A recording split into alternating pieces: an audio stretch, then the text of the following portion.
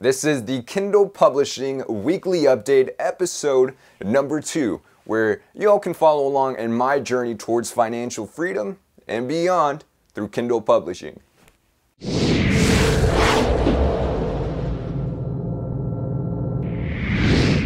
Thanks for joining us here on millennialrebel.com. My name's Michael.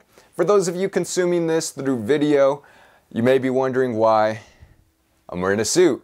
Well, my mentors are taking me out to hear some people speak, which I'm super psyched about. I love being in environments that allow me to grow as an individual. That only means that I'm going to have to go through this uh, week's episode as efficiently as I can. With that being said, let's go ahead and dive right in. As before, the first portion of this video will be an update on how this past week went. Huge thing happened on Tuesday. I had my first coaching call. Really learned quite a bit, and I'm going to go ahead and share some of the things that I learned. First big takeaway is you can't be doing the same thing as everyone else. What do I mean by that? Well, there's courses out there that you may have heard of that's really, really great at teaching someone how to get a book together, get a cover made, uh, write out a description, uh, and then go out and publish the book. Well, with that comes along a swarm of people uh, flowing into the markets, all doing the exact same thing. The same, you know, $5 book cover, the 5,000 word range, the same structure of how you write out your description. You know, I'm guilty of this too. This past week was really the lowest week I've ever had in sales for my two books. Like, scary low. You can go ahead and check out uh, the screenshot for the sales I had in these past seven days in the link below. If I didn't have a coach right now, I'd totally be freaking out. Uh, really, this is not what I was expecting, uh, but fortunately, I have a coach who's uh, going to help me succeed. But for those of you who are just getting started in Kindle publishing, are already or will be in the future, I want to ask if you're positioning yourself to rise above the clutter. Are you positioning yourself to stand out from your competitors? Okay, if you're lucky, you publish a book and it gets successful really soon. You know, you start seeing a lot of money coming in. But who's to say that's going to be there a month from now, two months from now, three months from now?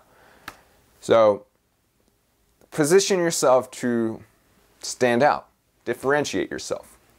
Number two, as my coach challenged me to go out and publish my next two books in a way uh, that I can stand out. I ran into one of the biggest concerns any business owner can run into.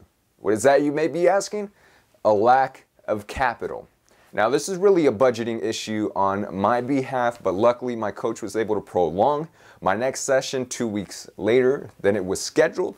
That gives me enough time uh, for my minimum wage job, $15 here in Seattle, uh, to cover the expenses I have now, but also will be having with the descriptions being made for that book, the covers being made for that book, uh, bringing, in, bringing in a VA and implementing a social media strategy.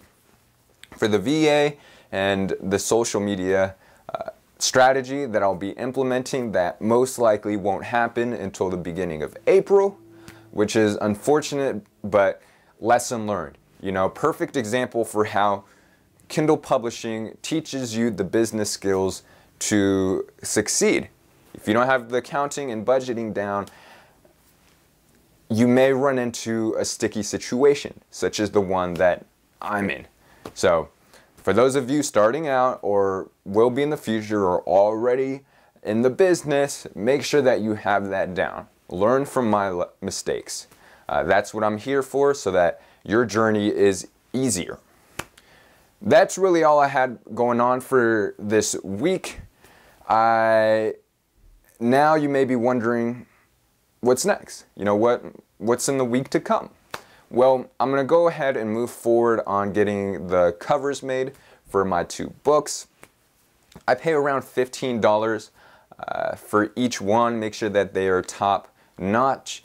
Uh, that's a great way to stand out. I also have to come up with uh, a bit of a creative structure for those book covers. You know, with standing out, the the book covers are one of the first things that a customer sees.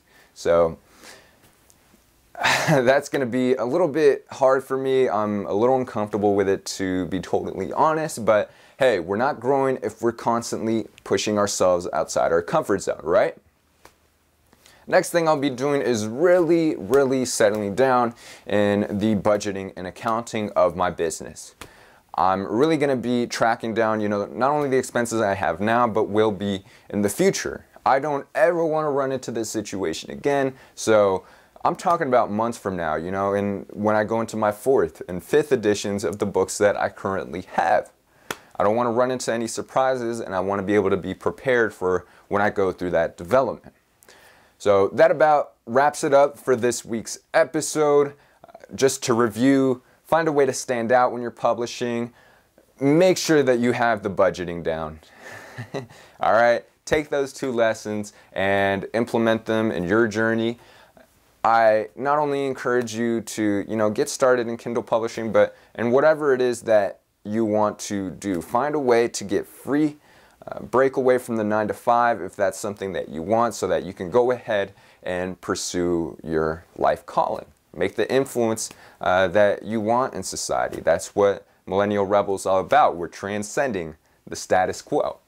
So if you like this video, go ahead and give us a like uh, reach out to me on my blog or comment below. I want to thank you guys for tuning in with us on the Kindle Publishing Weekly Update, Episode 2. I hope that you guys have an incredible day. Peace.